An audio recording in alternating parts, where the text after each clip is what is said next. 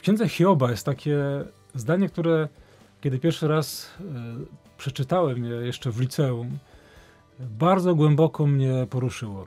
E, to jest zdanie na końcu tej księgi, kiedy Hiob mówi e, po całym tym piekle, które przeszedł, mówi do Boga: Dotąd znałem Cię ze słyszenia, a odtąd ujrzałem Cię wzrokiem. Trochę podobne zdanie pada w Ewangelii Jana, kiedy ludzie z miasteczka samarytańskiego zwracają się do Jezusa i mówią tak: e, Wierzymy już teraz, e, patrząc na Ciebie i słuchając Ciebie, że jesteś zbawicielem świata. Już nie dlatego e, wierzymy, że powiedziała nam to ta kobieta, z która z Tobą rozmawiała, ale sami na własne oczy to zobaczyliśmy.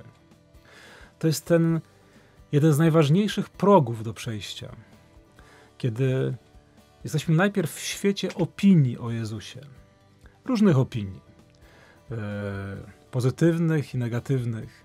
Ale nawet gdybyśmy byli tylko w kręgu pozytywnych słów o Jezusie, opowieści o Jezusie, nawet najpobożniejszych z nas, to jeszcze nie jest to mój Jezus. To jeszcze nie jest ten Jezus, którego poznałem własnym e, wzrokiem.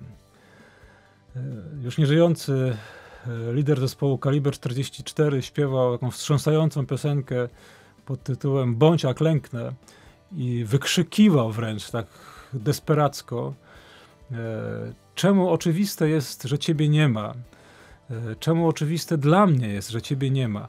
Ja chcę spojrzeć na ciebie, ja spojrzę na ciebie moimi oczami, a nie oczami mojej matki.